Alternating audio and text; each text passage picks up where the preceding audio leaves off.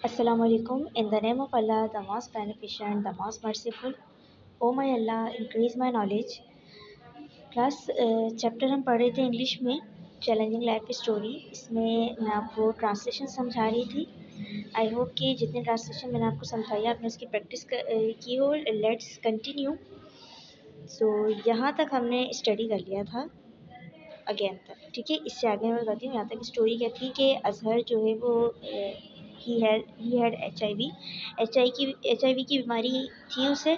अक्सर ऐसा होता है कि अगर इस तरह की कोई बीमारी हो या इस तरह की कोई मुसीबत हम पर आ जाए तो हम हिम्मत हार जाते हैं। लेकिन अजहर तो अजहर जो था he was a strong boy उससे हिम्मत नहीं हारी, उसे मालूम था कि इस डिज़ीज़ को क्योर नहीं किया जा सकता, कोई इलाज इसका नहीं है। लेकिन फिर भी वो हिम्मत नहीं हारा। उसने हिम्मत की और मजबूती से इन हालात का सामना किया और वो स्कूल भी जाना चाहता था और हिम्मत रखी उसने और वो स्कूल भी गया। बहादुरी से उसने अपने सारे हालात का सामना भी किया। सब, इन सबको फेस भी कर रहा है। ठीक है, इसे कंटिन्यू करते हैं। अच्छा देखिए, एक स्कूल में गया, वहाँ से उसे निकाल दिया गया। क्यों? क्योंकि दूसरे बच्चों के जो वालदेन थे, उन्होंने बच्चों को स्कूल भेजना बंद कर दिया था। इस वजह से वहाँ से उसे निकाल दिया गया। लेकिन फिर उसकी जो केयर कीवर थी, उसने कोशिश की और उसकी कोशिशों से उसे दूसरे स्कूल में एडमिशन मिल गया। ठीक है, अब let's continue he told Sara that he was determined told जो है वो टेल की सेकेंड फॉर्म है। ठीक है? टेल की सेकेंड फॉर्म ये साथ साथ मैं आपको इसलिए बताती रहती हूँ कि आप जब पास इंडेफिनेट सेंटेंस बनाएँ तो आपको आसानी रहे। और वर्ब में आपने वर्ब की फॉर्म्स भी याद की हैं। ही टोल्ड सारा उसने सारा को बताया बताया डैट के ही वॉज़ डिटरमाइंड कि वो पुरज़म है to get a good education अच्छी तालीम हासिल करने के लिए। इवन इफ़ इट मीन इसका ये मतलब नहीं था never having a good friend कि उसके पास कभी भी अच्छे दोस्त ना हों। एट ए टाइम उन दिनों अ फ़िल्म प्रोड्यूसर एक film producer was in town town में फिल्मिंग अ डॉक्यूमेंट्री डॉक्यूमेंट्री बना रहा था अबाउट चिल्ड्रन ऐसे बच्चों के बारे में विद एचआईवी जो एचआईवी या एड्स रखते हों। ही हेयर्ड उसने सुना, ये हेयर का मतलब सुनना, और सेकंड फॉर्म दी हुई है हेयर ही हेयर उसने सुना अबाउट अजहर. अजहर के बारे में एंड और विद इस परमिशन उसकी इजाज़त से. अच्छा देखें पहले वाले स्कूल में क्या हुआ था? बच्चों को जब मालूम हुआ था तो वो उससे दूर रहने लगे थे और फिर उसको निकाल दिया गया. तो अगले स्कूल में फिर उसने क्या क्या किया कि दूसरों बच्चों को बताया नहीं. खामोश रखा, अपने आप को छुपा के रखा. उसने किसी को भी नहीं बताया कि उससे एच आई वी है। क्योंकि उसे डर था कि कहीं ऐसा ना हो कि उसे दोबारा रिजेक्ट कर दिया जाए, दोबारा स्कूल से निकाल दिया जाए। तो अब आगे क्या बता रहे हैं कि उसने सारा से क्या बात करी कि वो अच्छी तालीम हासिल करना चाहता है, ठीक है? अब मज़ीद क्या हुआ है कि उन, कि उनके इलाके में जो है वो एक फ़िल्म प्रोड्यूसर आया जो कि इसी चीज़ पे, इसी टॉपिक पे डॉक्यूमेंट्री इन्हीं तरह के एचआईवी वाले बच्चों की, ऐसे बच्चों पर डॉक्यूमेंट्री बना रहा था जिन्हें एड्स हो, ठीक है?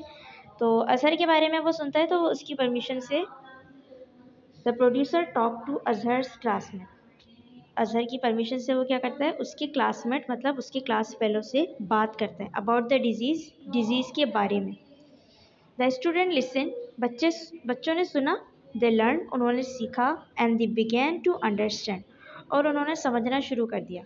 ठीक है, अब जब समझाया गया उनको बच्चों को उनको नॉलेज वगैरह दी गई तो वो समझने लगी कि हाँ भाई, ये जो डिज़ीज़ है, ये इस तरह की डिज़ीज़ नहीं है कि छूने से या शेयर करने से या सिर्फ़ पास बैठने से या खेलने से ये डिज़ीज़ जो है वो हम कैच कर लें। इस तरह की डिज़ीज़ ये नहीं है। तो ये सारी बातें बच्चों को जब सिखाई गई, वो सीखने लगे। दीज स्टूडेंट्स वेंट होम यही बच्चे घर गए and explain to their parents और अपने वालदेन को बताया।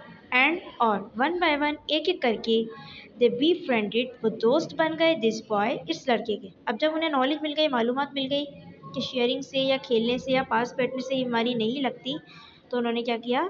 इस लड़के को मतलब अजहर से क्या करना, दोस्ती से करना शुरू कर दी। Who had kept himself hidden जिसने अपने आप को छुपा रखा था। छुपाने से मतलब उसने अपनी बीमारी को छुपाया हुआ था। अजहर गिर यू इन कॉन्फिडेंस अजहर का अतमाद बढ़ने लगा। एंड लर्न टू स्पीक और उसने बोलना सीख लिया पब्लिकली आवामी तौर पर मतलब वो इजीली सबसे ये बात करने लगा। अबाउट हिज कंडीशन अपनी कंडीशन के बारे में, अपनी हालत के बारे में।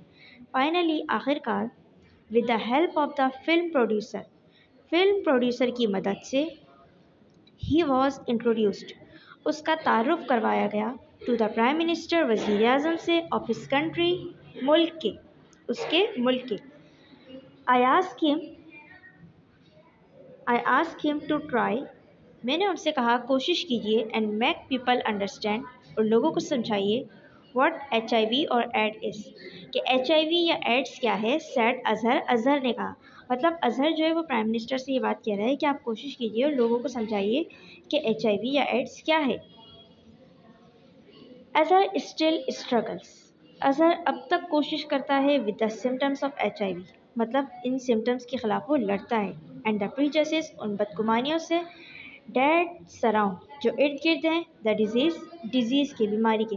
मतलब बीमारी की वजह से जो लोग उससे बदगुमान होते हैं, उससे दूर रहते हैं, वो इन सारी चीज़ों से अब भी स्ट्रगल करता है, अब भी लड़ता है। बट ही इज़ नाउ मतलब ये सारी चीज़ें अभी भी उसके इर्द गिर्द मौजूद हैं, उसको घेरे हुए हैं। लेकिन वो कोशिश करता है इनके ख़िलाफ़। बट लेकिन he is now a self assured लेकिन अब वो बातमाद यंग मैन नौजवान आदमी बन गया है who is not afraid who is not afraid यहाँ मैं पढ़ रही हूँ हु इज़ नॉट अफ्रेड जो खौफजदा नहीं है टू ड्रीम ख्वाब देखने से ऑफ़ आ फ्यूचर मुस्तबिल के। मतलब वो बहुत ज़्यादा बातमाद जवान आदमी बन गया और अब वो मुस्तबिल के ख्वाब देखने से बिल्कुल भी डरता नहीं है। मतलब उससे ये नहीं है कि मेरे पास इस तरह की डिज़ीज़ है जिसका कोई क्योर नहीं किया जा सकता।